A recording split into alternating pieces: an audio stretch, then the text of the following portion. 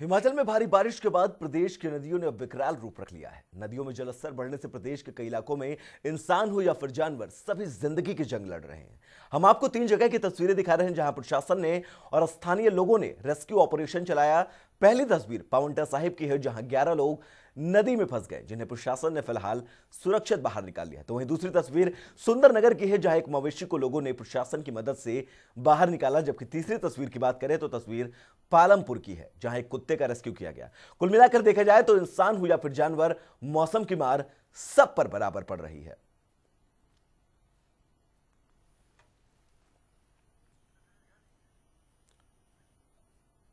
तो तीन तस्वीरें पावंटा साहिब, सुंदरनगर, पालमपुर, जहाँ पर किस तरह से इंसान तो इस बाढ़ से, इस बारिश से परेशान है ही, साथ ही साथ जानवर भी कहीं ना कहीं से इस बाढ़ की चपेट में लगातार आ रहे हैं। तीन तस्वीरें पावंटा साहिब, जहाँ पर 11 लोगों का रेस्क्यू किया गया, दूसरी तस्वीर जहाँ पर एक मवेशी का रेस्क्यू किया गया तो वहीं तीसरी तस्वीर पालमपुर की, जहाँ पर एक कुत्ते के रेस्क्यू के लिए, कुत्ते की ज़िंदगी को बचाने के लिए किस तरह से लोग अपनी जान को जोखिम में डाल रहे हैं, उसकी बानगी आप सबके सामने है।